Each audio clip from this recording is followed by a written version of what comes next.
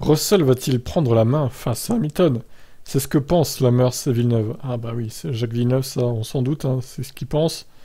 Ce qui est frappant, c'est qu'il exploite tout, tout jusqu'à la ligne d'arrivée avec Lammers à Nos. Alors Nos, je sais pas, c'est une chaîne de télé sûrement. Il ne se laisse pas facilement mettre de côté, c'est aussi, aussi bien sur la piste que mentalement.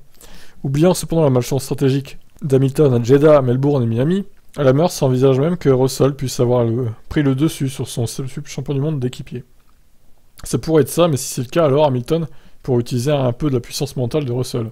Au moment où vous abandonnez, la défaite est inéluctable, et je ne vois pas Hamilton tout donner pour l'instant.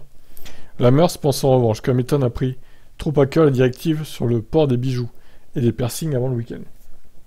J'ai pensé que c'était une réaction un peu bizarre. J'ai aussi été arrêté par la police pour excès de vitesse et j'ai dit Ne devriez-vous pas, attraper les criminels?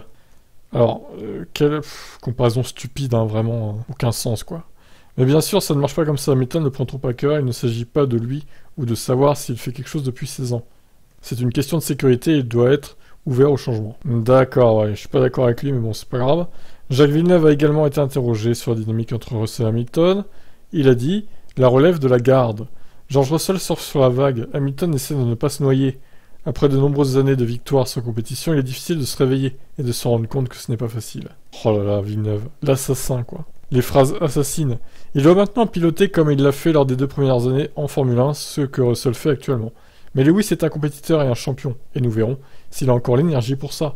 Je pense que perdre le titre l'année dernière était un lourd fardeau qu'il porte encore. Très bien. Eh ben écoutez, peut-être, hein, peut-être qu'il a toujours pas digéré la perte du titre. Hein, il doit l'avoir au coin de sa tête quelque part. Et on comprend, évidemment. Vous en pensez quoi, vous? Ciao.